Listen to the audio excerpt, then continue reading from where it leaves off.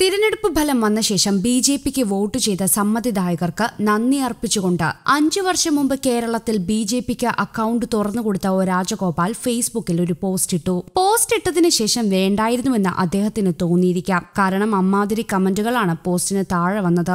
ദേശീയ ജനാധിപത്യ സഖ്യത്തിന് വോട്ട് നൽകിയ സമ്മതിദായകർക്ക് ഒരായിരം നന്ദി. ജനവിധിയെ മാനിക്കുന്നു. തോൽവിയെ സംബന്ധിച്ച് പാർട്ടി നേതൃത്വം ഒരുമിച്ചിരുന്ന് ചർച്ച ചെയ്ത് കുറവുകൾ പരിഹരിച്ച് കരുത്തോടെ മുന്നോട്ടു പോകുമെന്നാണ് അദ്ദേഹം ഫേസ്ബുക്കിൽ കുറിച്ചത്. അദ്ദേഹം എഴുതിയ കുറിപ്പിന് താഴെ ശക്തമായ ഭാഷയിലാണ് ബി ജെ പി പ്രവർത്തകർ വിമർശിക്കുന്നത്. അതേസമയം രാജഗോപാലിന് നന്ദി അർപ്പിച്ചുകൊണ്ടും ഇടത് പ്രവർത്തകരും കമന്റ് ചെയ്യുന്നുണ്ട്. ആറായിരത്തിലധികം പേരാണ് ഇതുവരെ കമന്റ് ചെയ്തിരിക്കുന്നത്. ഞങ്ങൾ കമ്മ്യൂണിസ്റ്റുകാർ ഒരുപാട് കടപ്പെട്ടിരിക്കുന്നു രാജേട്ട. നിങ്ങളില്ലായിരുന്നെങ്കിൽ ഒരുപക്ഷെ ആ സീറ്റ് തിരിച്ചുപിടിക്കാൻ പറ്റില്ലായിരുന്നു. നന്ദി എന്നായിരുന്നു ഒരു കമന്റ്. താങ്കൾ വാ അടച്ചു വെച്ചിരുന്നെങ്കിൽ കുമ്മനം ജയിച്ചേനെ. കഴിഞ്ഞ തിരഞ്ഞെടുപ്പിൽ റിസൾട്ട് അറിഞ്ഞ ഉടനെ വച്ചുപിടിച്ചു എ കെ ജി സെന്ററിലേക്ക് വിജയന്റെ അനുഗ്രഹം വാങ്ങാൻ സ്പീക്കർ തിരഞ്ഞെടുപ്പിൽ കൃഷ്ണന് വോട്ട് ചെയ്തു. കേന്ദ്രത്തിനെതിരെ നിയമസഭയിൽ അവതരിപ്പിച്ച എല്ലാ പ്രമേയങ്ങളെയും താങ്കൾ അനുകൂലിച്ചു. ചെയ്തതെല്ലാം പാർട്ടിക്ക് പാരയായിരുന്നു. താങ്കളെ പാർട്ടിക്ക് ശരിക്കും മനസ്സിലായില്ല എന്ന് തോന്നുന്നു. താങ്കൾ ആരെയാണ് ഇപ്പോൾ ആശംസിച്ചത്? എന്നായിരുന്നു മറ്റൊരു കമന്റ്. സഹായിച്ചില്ലെങ്കിലും ഇനിയെങ്കിലും ദ്രോഹിക്കരുത്. പ്രവർത്തകർ രാപ്പകലില്ലാതെ കഷ്ടപ്പെട്ടത് നിങ്ങൾ ഒരു നിമിഷം കൊണ്ട് തട്ടിയെറിഞ്ഞു.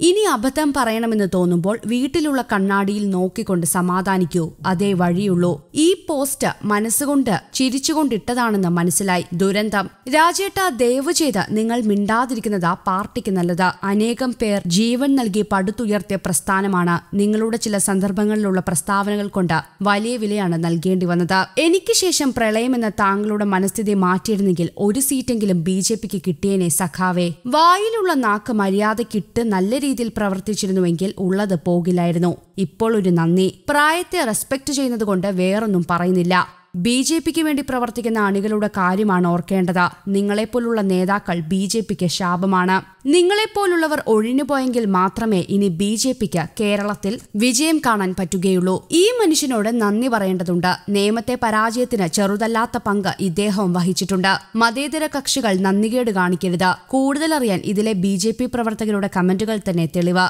അക്കൂട്ടത്തിലെ അവസാന സ്വാധുവിക ഭാവമാണ് ഇദ്ദേഹം. തുടങ്ങിയവയാണ് മറ്റ് കമന്റുകൾ. നേമത്തെ ബി ജെ പി തോൽവിക്കുള്ള കാരണങ്ങൾ അക്കമിട്ടെഴുതിയാൽ രാജഗോപാലിന്റെ പേര് മാറ്റി നിർത്താനാവില്ല. തനിക്ക് ലഭിച്ചത്ര വോട്ട് കുമ്മനം രാജശേഖരൻ നേമത്ത് പിടിക്കുമോ എന്ന് സംശയമുണ്ടെന്ന് തുറന്നടിച്ച രാജഗോപാലിന്റെ നാവിൽ നിന്നും എതിരാളികൾക്ക് ആഘോഷിക്കാൻ വേണ്ടത് പിന്നെയും ലഭിച്ചിരുന്നു. എന്നാൽ മുതിർന്ന നേതാവായതിനാൽ പാർട്ടിക്കുള്ളിൽ നിന്നും അദ്ദേഹത്തെ തള്ളിപ്പറയാൻ ആരും രംഗത്ത് വന്നില്ലെന്ന് മാത്രം. ഒടുവിൽ ഫലം വന്നപ്പോൾ രാജഗോപാലിന്റെ പ്രവചനം സത്യമാവുകയായിരുന്നു. News desk Kerala Kaumudi.